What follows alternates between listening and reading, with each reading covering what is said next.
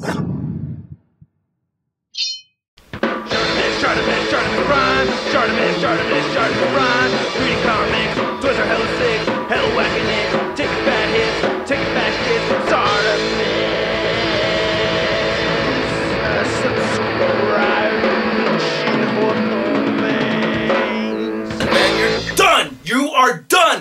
Hey, what's up, you guys? Shartimus Prime here, doing another Marvel Legends action figure review on the Guardians of the Galaxy Mantis Build a Figure Waves Death's Head 2. If you're trying to pick up your Guardians of the Galaxy Marvel Legends figures, you can get them at Br- big, big, big. Get your big badass toys at bigbadtoystore.com.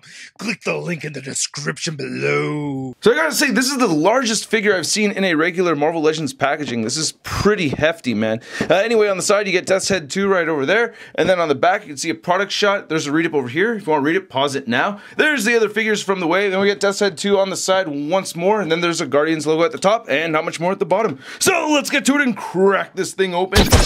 And here's Death's Head 2 out of the packaging. And I think this is a very good figure. I do like this Death's Head 2 figure. It definitely could have been the Build-A-Figure from the Wave. For those of you who don't know or don't remember seeing my interview with Hasbro over at New York Toy Fair earlier this year, I had asked them uh, the fundamental question that all of us were already thinking, why wasn't this the Build-A-Figure? Why are you using little old Mantis as the Build-A-Figure? And the reasoning for that is that this sculpted body right here was originally tooled not as a Build-A-Figure, so they needed to tool a newer figure as a Build-A-Figure, and that's why they went with Mantis. And they do cost out their figures per by wave, so this figure is included as part of the wave. So this is really supposed to be the Build-A-Figure uh, in their mind's eye. Whether you want to accept that or not, that's up to you. That's their explanation. I'm just the messenger. But anyway, the figure itself is good. I really do like it a lot. We get some very fancy paint apps over here. Uh, he does have an interchangeable left hand. I wish he had some interchangeable right hand pieces right here. That would have been more appropriate. But anyway,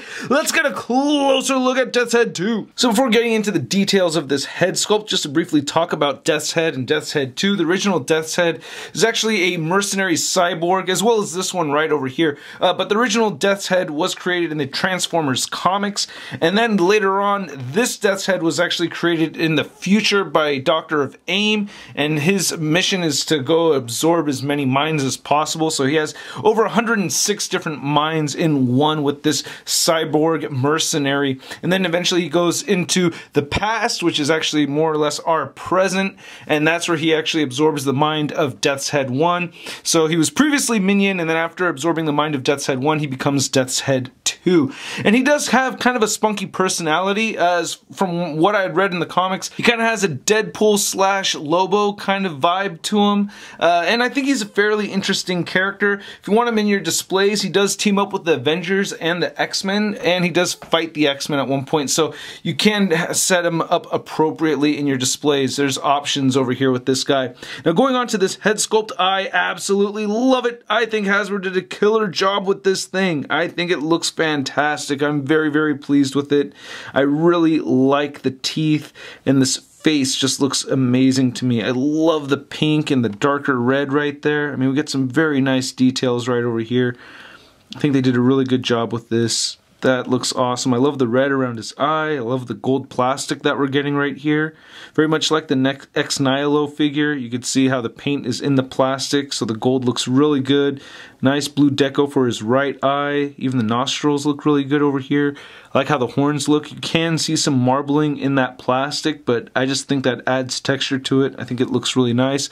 I like how the top of his head looks. We have this tealish metallic color right over there at the very top. I'm really digging this a lot. Great head sculpt. I very much dig it. I really like how the dreads look right over here, or the cybernetic dreads look on this guy. Very nice dark burgundy color with a metallic hue to it. So that's very cool. I'm liking that a lot. Some nice paint detail in there as well, so it's not just one solid color. And throughout we have this nice metallic blue over the flat blue. It could be a little bit more consistent, but I like that it's there. Uh, looking at the left arm right here, you know, this is a Colossus arm. Looks really good. We get some of that teal blue mixed in with the silver, so I'm a big fan of that. And we have some nice black mixed in there as well. That looks really good to me. I'm very pleased with that. And even looking on the side right over there, it looks really good. Some nice gold right over here. Fist looks all right. Now he does have an interchangeable left hand, which I don't really understand why he needs to have a pointing finger on the left side.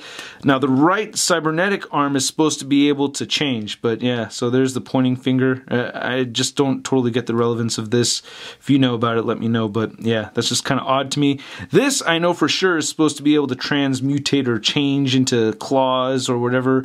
This is where he sucks the mind uh, you know, so that he absorbs the mind into his own of his next victim and everything. But I really love how this paint came out. That looks awesome. We get some nice bright silver. We get more of that teal silver and the flat silver right here. I just think that looks fantastic. But I wish they had figured out a way to, you know, remove this at the bicep and interchange it with a different uh, version. So he either has a claw or different weapons and stuff because it is supposed to be able to change at his will. But it does look really nice. But that's really my biggest gripe with the figure is that you can't interchange this with anything else.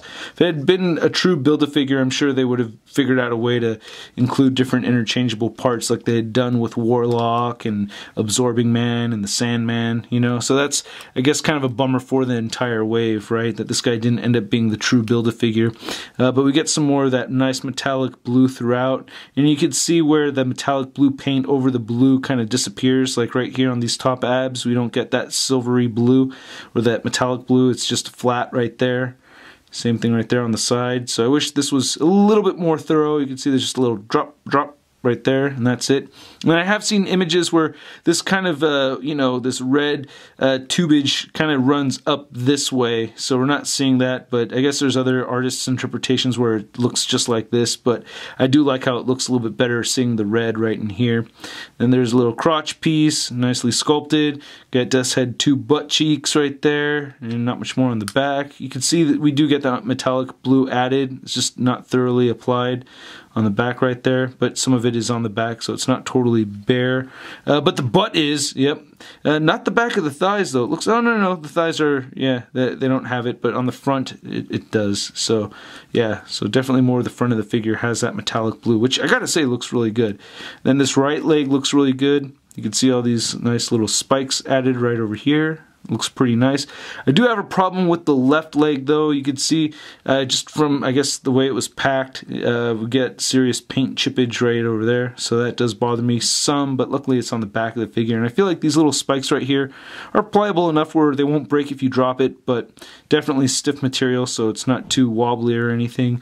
Then we get the feet right over there, not looking too bad, and he does have peg holes at the bottom of each foot. Now Hasbro's reused the Colossus body mold, so you should be fairly familiar with the articulation on this guy. Now he does have all this hair back here, and he can still move his head upward, which I am fairly impressed with. I think Hasbro's actually really stepped it up as far as being able to articulate this upward movement with figures or characters that have hair right there. So that's pretty sweet. It's not a whole ton of upward movement, but it is some. Anyway, the head can move down very far. You get side to side movement right here and a little bit of head pivot. He has shoulders that move outward that much. They move down. You can rotate 360. You get a bicep swivel, single jointed elbow, and the wrist moves side to side, hinges up and down. Same thing with this wrist right over here. On this side, you get the bicep swivel, you get the single jointed elbow that bends in that much, and then no rotation or anything right here. Again, I wish maybe it's this piece right here that I wish that they could interchange with other type hands and everything like that.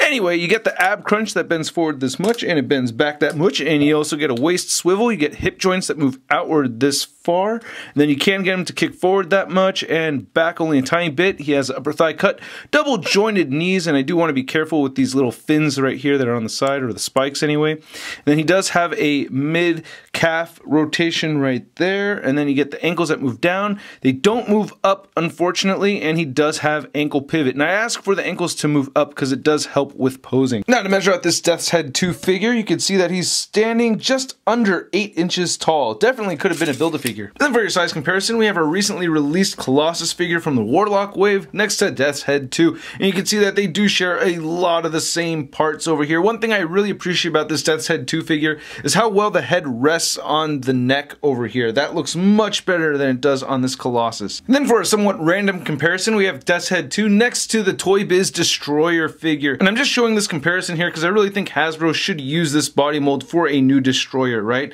That's what I assume they're going to do if they will make a new Destroyer figure. Uh, it'd probably be based on this, and it would be even taller than the Toy Biz one too. And then for your Death's Head comparison, we have Death's Head 1 compared to Death's Head 2. This is the Marvel Universe 3 3 quarter inch version.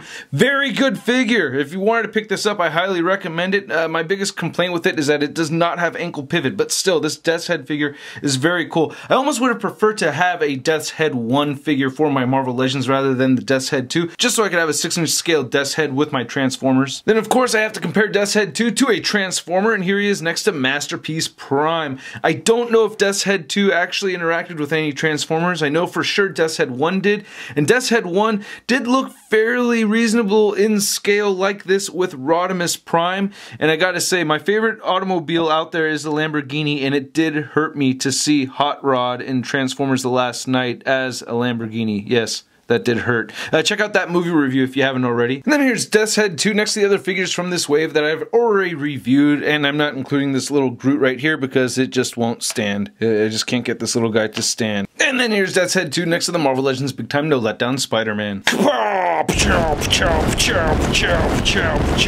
I just, that's how I assume uh, this blaster over here on his right hand works. I do like this figure. I gotta say, it's not a bad figure. I do have gripes. I actually really wish it was the Build-A-Figure. If it was the Build-A-Figure from the wave, I'm sure they would have figured out a way to incorporate different pieces for the right side or for the right arm anyway. That is my biggest gripe with this piece. I also wish we had more of the metallic blue throughout. I mean, you can see some serious scappage from the metallic blue right there in the midsection, so that bothers me a bit. But otherwise, I do think it's very cool, and I am impressed with the head sculpt, and I do like the figure. And I hope you guys liked the review. If you did, please hit the like button. Go ahead and leave a comment down below. Let me know what you think of the figure. Let me know what you think of the review. If you have not subscribed yet, please go ahead and hit that subscribe button for more Shartimus Prime videos coming your way. If you're already subscribed and you haven't hit that notification bell, what's wrong with you? You gotta hit that notification bell, or else you won't know immediately when the next Shartimus Prime video is posted. I also gotta plug my new tune called Playing with Toys. If you want to check out Shartfest, I have a link below if you want to pick up that song and you want to support. Also, I gotta give a big thanks to all these amazing people for supporting this YouTube channel. Uh, those that support the YouTube channel can hear the Playing with Toys song for free up on the Team Shartimus site, which I'll have a link in the description below for. If you want to see a photo gallery of images, link below at marvelousnews.com, and I'll catch you guys later. Peace!